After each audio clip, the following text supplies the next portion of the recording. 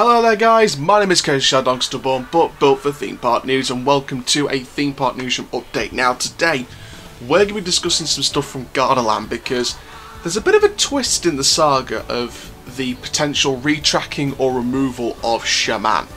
Now, this saga started a couple of days ago now, and we spoke about Shaman and we spoke about how that looks to be getting either retracked or removed and then we got the little bit of news in the Ramses the Awakening video about uh, potentially Shaman. You know, it was confirmed by the park, someone replying to someone that it was going to be, you know, maintenance.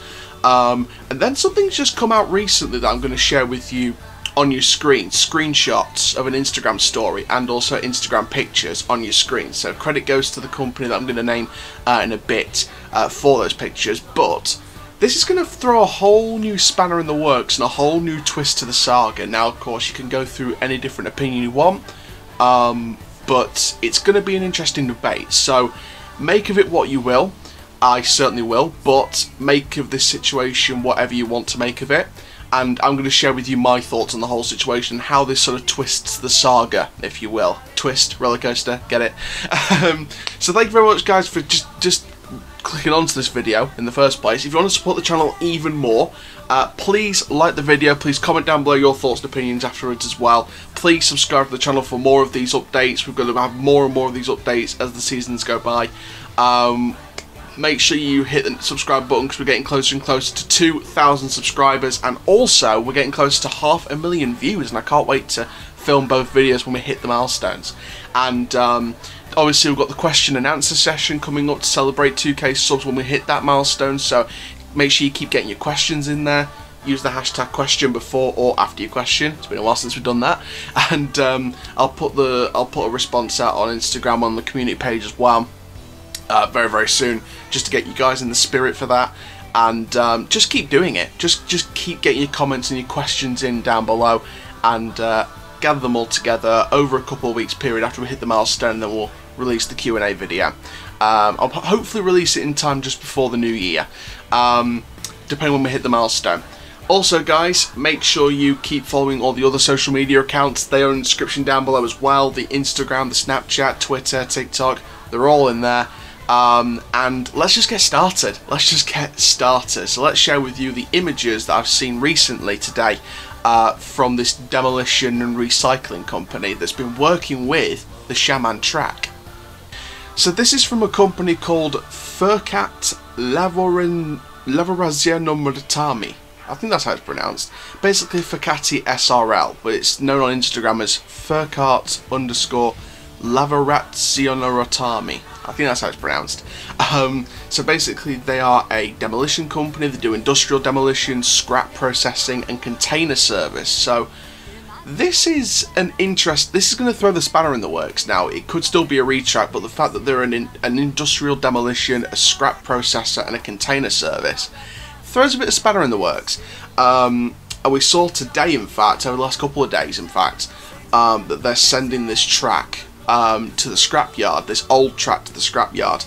Uh, you can see across on your screen right now uh, pictures of the track uh, on site. It's you know it's outside the rest of the coaster. It's in front of the Ramses Dark Ride. Interesting, and um, you know overall they're sending the old track, shall we say, to the to the scrapyard. And then these pictures already on your screen right now, and this is taken from the scrapyard itself. It's track being crumpled, it's track being ready to be crumpled, and it's track in the scrap ready to be crumpled. And there's another story, in fact, if you go over there today, and you can see actually a piece of the track going through like a machine where it gets crumped down, shall we say. And I think after that, there's been a lot of debate about, you know, what's going to happen. And actually, someone tweeted uh, one of the, the videos seen on the Instagram story from this company, and someone actually tweeted RIP Shaman.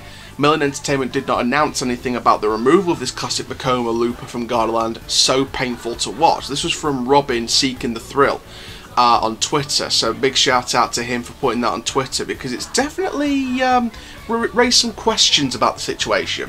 So there we go. So that is looking at some uh, a post on Twitter. We're talking about the post from Twitter. Uh, again, go go over to Twitter, seeking the thrill, Robin with two B's, seeking the thrill, and you can have a look at that tweet yourself. Uh, you obviously saw the picture on your screen from the uh, this in this scrap processor, you know, container service industrial demolition company from Italy that's been in charge of removing and demolishing the track on their scrapyard. Uh, you saw loads of pictures from the park, from the scrapyard, and it's raised a lot of questions. And to be fair, there's another point that I wants to bring up which raised a lot of questions as well. Now, I said in past videos on this that if this was going to be track maintenance and track refurbishment and a complete overhaul of the ride, then, you know, something like Python at Efteling, what they did with Python. Um, and I did say that if they were going to do that, they would have done like what they did with the Colossus refurbishment. They would have done a full like teaser or a massive announcement. And what brings up this as a potential debate is when Merlin say they are doing maintenance on a ride or they've closed the ride for maintenance, usually they've removed it instead of maintaining it. They've actually removed it from scratch. So I think if we see more track sections being demolished with no sign or teaser from Vekoma about bringing in new track, then I have a I have a gut feeling that Shaman's been permanently removed. Now I could be wrong, I could be right, I don't know. But this this whole these whole posts from the from the demolition company, from you know, from the track being demolished, from the track being taken from the part to the scrapyard, and the tweet about RIP Shaman. This is definitely bringing up a very interesting debate. I know a lot of people after that first video, which by the way is getting closer and closer to 1,000 views, thank you very much for that. It's good to see that you you guys are looking at all these news updates. Um, what brings up a very interesting debate is the fact that um, is, is, the tweet RIP Shaman, and like I said, if they were going to maintain a ride, they would have publicly announced it by now. So we're just waiting for an official statement from Gardaland about what is happening with Shaman. They have replied to someone, but then we saw the stuff today from the scrapyard, you know, and it raised a lot of questions about, you know, is it actually going to be maintained? Is maintenance another word for demolition?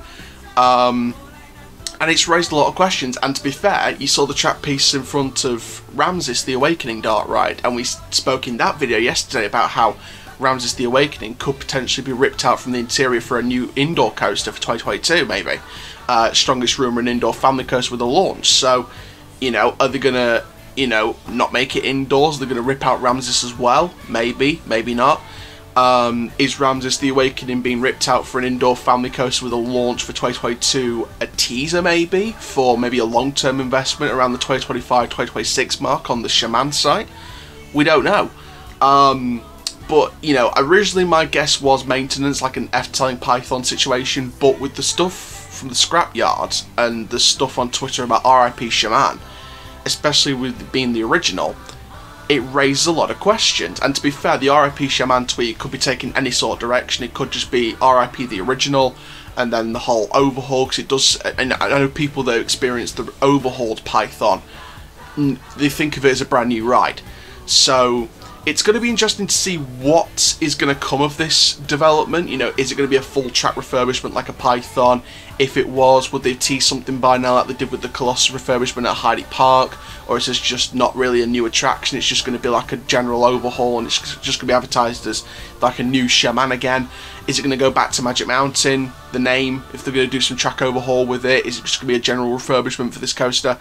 You know, or is it being fully removed? You know, is maintenance, like we said, another word for removing a ride? Because we know the, you know, different rides have been, you know, other Merlin parks have been closed for essential maintenance and they've been either brought back or they've been completely removed. You know, we've had this kind of situation before. So you sort of take it as a 50 50 direction with this. So it's a big twist of the tail. We're going to keep our eyes on it. If it is going to be a permanent removal, then I mean, this could be the sign for Gardaland's next coaster, whatever it is. Um, if it's being overhauled like a Python style, we should see a teasing campaign hopefully very, very soon, um, like they did with Colossus. But it should be interesting to see how they're going to do it. Um, so this is going to be interesting. This is going to be an interesting one. So thank you very much, guys, for watching this theme park news update. Keep up to date with all the other updates we've done on Gardaland, on Shaman, on Ramses the Awakening, on all the other parks around the world. Uh, keep up to date with all the updates. We've got a couple of next five years videos which I have recorded. They're in the editing process. They're pretty much done uh, from Cedar Point and then Canada's Wonderland. So they'll be coming hopefully in the next week. Um, fingers crossed there's no news updates because of course usually we, we, we, upload those videos on a day when there's no theme park news newsroom updates. Uh, so they'll be coming on a day when there's no news updates and if there is then we have to save them for another day because um, that's the rules with this channel. Um, but for now guys thank you very very much for watching this theme park newsroom update. My name is Coast. Shell keep living the coast life. Make sure you like comment subscribe. Make sure you get that sub count up. Make sure you keep watching over the old videos as well. Let's get the view count up to 500k and for now, keep living the coastal life, and I'll see you guys next video very, very soon. Take care, guys. Have a thrill-tastic day.